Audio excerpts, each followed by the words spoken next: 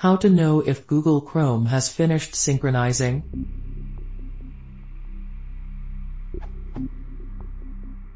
I use a dual boot machine and have set up Chrome browser to sync my bookmarks, apps and other data.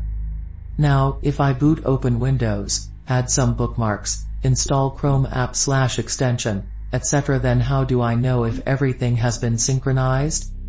Disabling and enabling the sync is not the efficient option every time. Any ideas?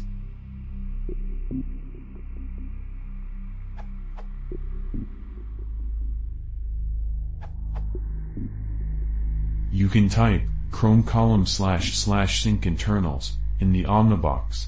It lets you view internal and technical data about your connection to the Google Cloud. It is actually intended for developers, but it can also be used to know the status of the sync. In the About tab, you can find last sync. If it shows just now you can be sure that the sync process completed just now, and be sure that everything has been synced.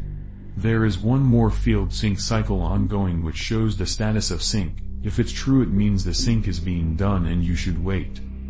You can experiment with it by adding slash removing a bookmark and observe the changes on the page. This way you will be able to better understand the status of the sync and information displayed at page.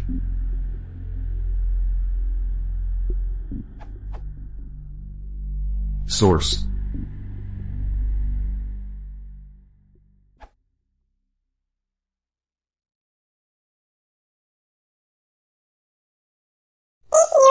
If you want